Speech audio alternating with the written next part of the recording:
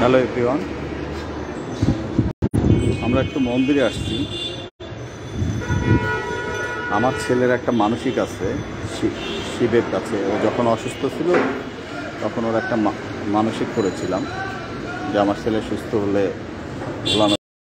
কাছে পুজো দিব। তো সেই পূজাটা দেওয়ার জন্য আমরা এসেছি। তো আসতে একটু দেরি হয়ে গেছে, যে কারণে মন্দির নাট মন্দিরটা ধোয়া মোছার কাজ চলছে, আমি একটু দেখাই। এই যে। এটা ধোয়া মোছার কাজ শুরু হলেই ওই বাবা ভোলানাথের কাছে পুজোটা দিব। যে এইখানে আমার স্ত্রী এবং সন্তান বসা আছে মায়ের মন্দিরে। মা কালী এবং দুর্গা। যে মায়ের মন্দির, মা দুর্গার মন্দির। আমার ছেলে একটু বাইরে আসলে খুশি হয়, যেহেতু ঘরেতে সারাদিন ওর মার সঙ্গে থাকে মা মিরপুর তেরো নম্বর মন্দির এটা। এর আগে ফেসবুক লাইভে আমি এই মন্দিরটা দেখিয়েছিলাম।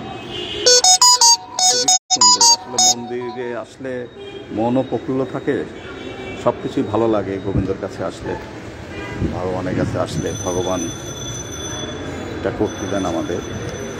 উত্তম কাকু, উত্তম চক্রবর্তী, উনি পুরোহিত কাকু পূজাটা করবেন।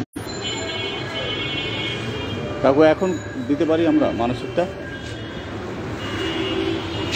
কাকু, পুরোহিত এখানকার, ওনার নাম উত্তম চক্রবর্তী।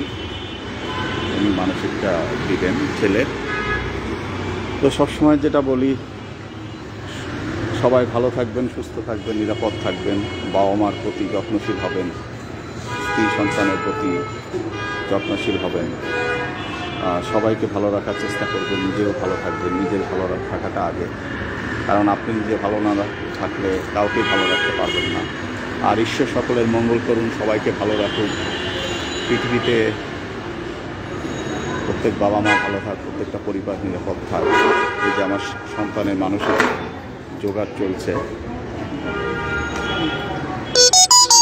ও নভেম্বরে যখন খুব অসুস্থ হয়ে সেন্ট্রাল হসপিটালে ভর্তি হয়েছিল, তখন এই মানসিকটা করা হয়